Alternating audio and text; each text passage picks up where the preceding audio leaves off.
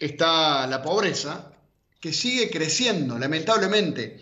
Veíamos en La Voz del Interior, ayer domingo, que el Gran Córdoba sumó 55.000 hogares pobres, de acuerdo a la encuesta permanente de hogares, que ya son casi 700.000 los cordobeses que viven en la pobreza en el Gran Córdoba.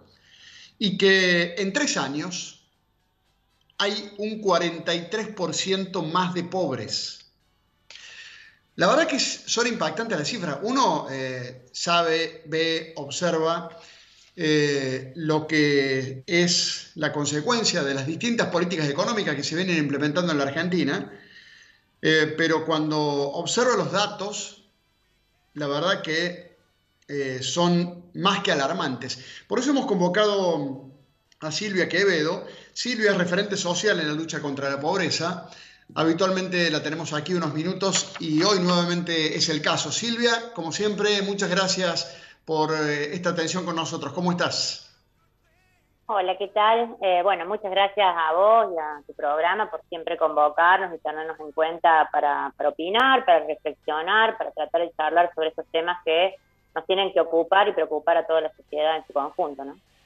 Al revés, eh, nosotros somos los agradecidos, Silvia, porque eh, yo trato siempre de subrayar que sos de las personas que eh, trabaja desde el lugar, ¿no? que trabaja en el territorio, que está al lado, codo a codo, luchando para tratar de mejorar la situación de tanta gente, de tantos miles de cordobeses que cada vez son más.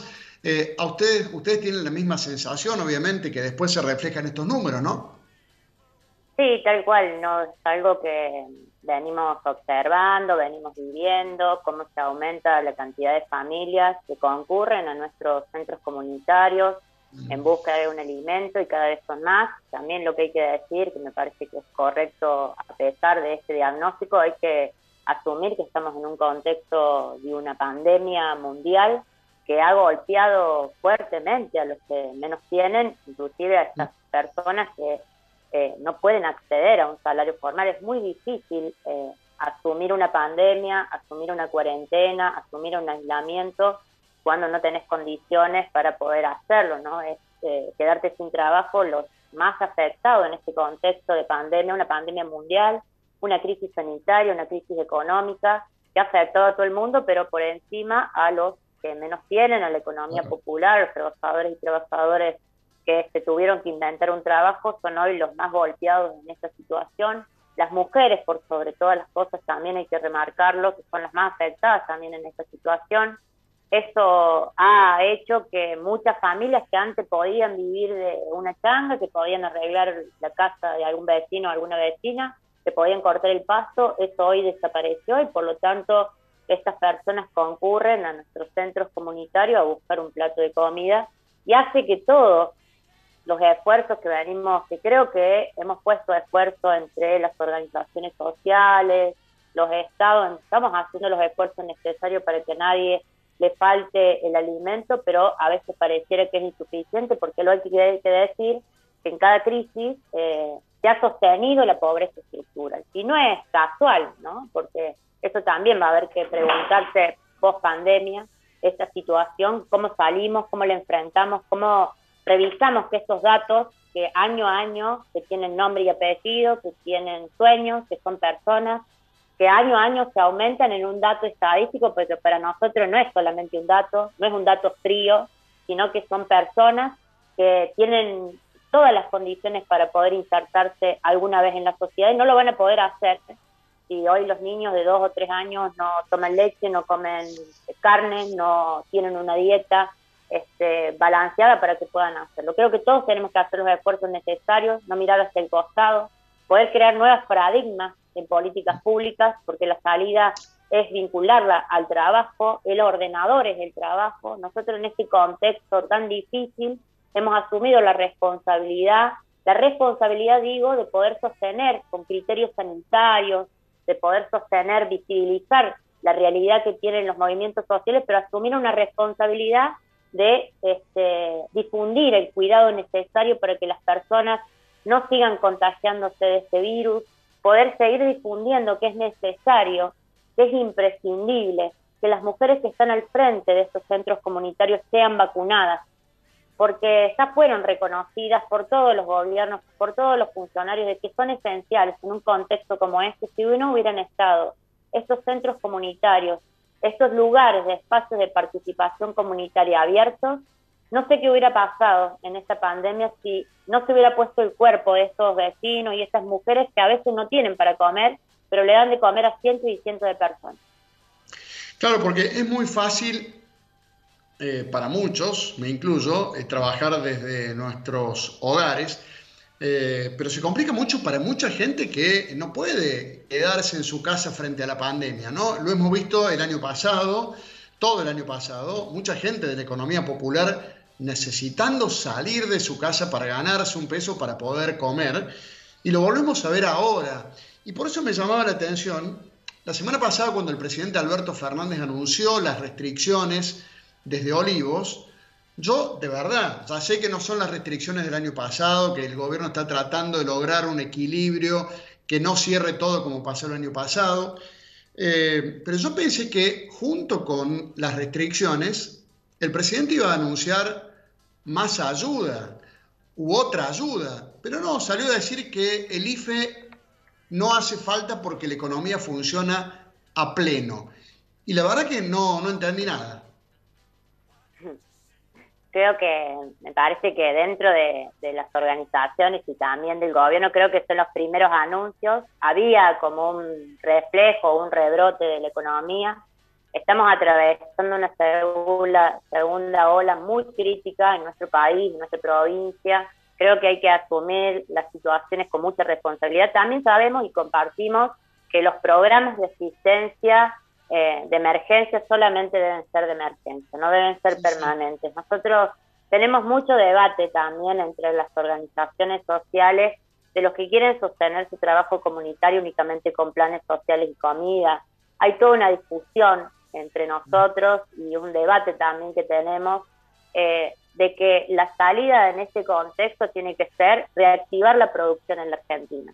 Es un contexto muy difícil. Bueno, yo no soy economista, pero sí creo que detrás de estas medidas que empiezan a, a visorarse en Argentina y en la provincia, también debe haber un, fortalecimiento a lo que se viene realizando. Creo que hay algo de eso, hay cuadrillas, este, hay programas que se han lanzado como Argentina Unida por la Educación y el Trabajo, donde muchos de estos trabajadores se han puesto a trabajar en la reparación de las escuelas, para la vuelta a clases, se están construyendo algunas viviendas en la provincia de Córdoba en el marco del Plan Semilla, en conjunto con el Ministerio de Desarrollo Social de la Nación, con el Ministerio de Desarrollo Social de la provincia y el Ministerio de Equidad y Empleo también en conjunto, para que estas personas que este, no tienen trabajo y que somos trabajadores y trabajadoras de la economía popular, empecemos a reactivar la economía de este lugar. Por lo menos ese es el aporte que estamos haciendo. ¿Es insuficiente? Claro que es insuficiente. Es un contexto donde avisoramos que este 40 o 50% de pobres que viene sostenidamente. Mira, yo creo que lo he contado en este programa, pero desde que soy chica, este, desde la caja PAM hasta el plan jefes y jefes, jefas y jefas de familia, aumentando de manera sostenida como eh, de manera exitosa para algunos gobiernos, como que era un éxito darle algunos programas sociales a la gente. Y no son éxitos, son aumento de cantidad de personas que no pueden salir de esta situación de pobreza. La economía popular, como concepto, viene a aportar de alguna manera esto que nos hemos inventado el trabajo, a discutir realmente estos modelos económicos que dejan afuera a cientos y cientos de miles que no pueden vivir con dignidad. No creemos que la economía popular es la salida para la economía de mercado que tiene sus reglas y se rige de otra manera, pero que de alguna manera es el proceso para poder empezar a construir que estos cientos y miles que viven sin la posibilidad de un trabajo digno empiecen a construir un futuro para que se puedan insertar en una Argentina que empiece a devolverle el trabajo a la gente. Eso es lo que hay que debatir en la Argentina, eso es lo que hay que discutir porque los planes sociales evidentemente han dado muestras de fracasos en uno y otro gobierno. Alguna vez estuvimos un poquito mejor, otra vez un poquito peor, pero sin embargo los números eh, duelen y los números siguen creciendo y eso no nos puede volver a pasar porque los dirigentes que asumimos este, con responsabilidad este contexto histórico, este contexto histórico y creemos que estamos a la altura para poder dar estos desafíos. Creemos que también los, este, los dirigentes, los funcionarios deben escuchar estas propuestas, estas propuestas que vienen de la mano de la economía popular para empezar a crear estos nuevos paradigmas, para empezar a terminar de verdad con este flagelo de la pobreza. Pero también estamos hablando de que estamos atravesando una pandemia, un contexto realmente que ninguno hubiera pensado vivir una situación como esta. La verdad es que para nosotros es muy difícil. Los centros comunitarios tomando distanciamiento, llevando adelante campañas sanitarias en las plazas.